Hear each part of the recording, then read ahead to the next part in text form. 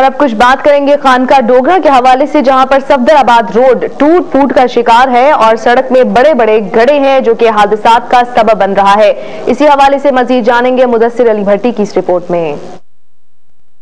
خانگاہ Dogra سفدرآباد road ایک انتہائی مصروف سڑک ہے، جس کو کئی ایک بار تعمیر تو کیا گیا، مگر کمیشن مافیا کی گرفت مضبوط ہونے کی وجہ سے یہ سڑک زیادہ عرصہ کبھی نہیں چلی۔ بارش کی وجہ سے کنارے ٹوٹ چکے ہیں اور سڑک کے درمیان بڑے بڑے گڑے بن چکے ہیں۔ جہاں ایک طرف مختلف حادثے رونما ہو رہے ہیں، تو دوسری طرف گاڑیوں کی رفتار کم ہونے کی وجہ سے یہاں وارداتیں معمول بن چکی ہیں۔ اب سے دلچسپ بات یہ ہے کہ اس حلقے سے منتخب ہونے والے عوامی نمائندے مسلم لیگ کی M N A Chaudhry Barjees Tahir اور ایم پی تارک محمود باجوہ اپنے گھر سانگلہ ہل جانے کے لیے اسی رستے کو استعمال کرتے ہیں۔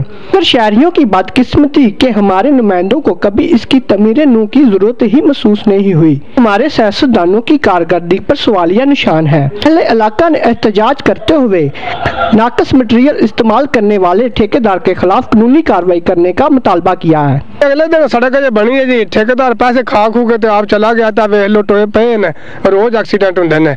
ਆ ਹੁਣ ਵਿਚਾਰੇ ਮੋਟਰਸਾਈਕਲ ਵਾਲੇ ਦੋ ਤਿੰਨ ਬੰਦੇ ਵੱਜੇ ਨੇ ਤੇ ਉਹਨਾਂ ਨੂੰ ਫੜ ਕੇ ਖੜਿਆ ਕੀਤਾ, ਸਿਰਫ ਆ ਟੋਇਆਂ ਦੀ ਵਜ੍ਹਾ ਤੋਂ। ਨਾ ਕੋਈ ਜਨਾਬ ਇੱਧਰ ਆਉਂਦਾ, ਮੈਂ ਇੰਨੀ ਟ੍ਰੈਫਿਕ ਚੱਲਦੀ ਹੈ ਨਾ, ਅਮੀਰ ਤਰੀਨ ਆਦਮੀ ਵੀ ਲੰਘਦੇ ਨੇ, ਲੇਕਿਨ ਉਹ ਕੋਈ ਕਿਸੇ ਨੂੰ ਕੋਈ ਕੰਮ ਕਰਕੇ ਰਾਜੀ ਨਹੀਂ। ਮਰ ਗਿਆ ਪਿੱਟ ਪਿੱਟ ਕੇ ਸਾਡੀ ਸੁਣਦੇ ਹੀ ਕੋਈ ਨਹੀਂ ਆਇਆ ਦੇ ਨੇ ਇੱਥੇ ਐਕਸੀਡੈਂਟ ਹੋਇਆ ਹੁੰਦਾ। ਆ ਮੀਰਾ ਸਾਡਾ ਮਸੇ ਬਚਿਆ ਕੱਲ ਇਹ ਮਰ ਚੱਲਾ ਸੀ ਜਿਹੜਾ ਸੜਕ ਤੇ ਇਸੇ ਤੇ ਲੱਗਦਿਆ ਲੱਗਦਿਆ ਇੱਕ ਹੋਰ ਭਜਾਨੇ ਟੁੱਟੀ ਸੜਕ ਕੋਈ ਬੰਦਾ ਨਹੀਂ ਇਹਦੇ ਗੌਰ ਹੀ ਕੋਈ ਨਹੀਂ ਕਰਦਾ ਨਾ ਕੋਈ ਹੁਕਮਰਾਨ ਨਾ ਕੋਈ ਸਾਡੀ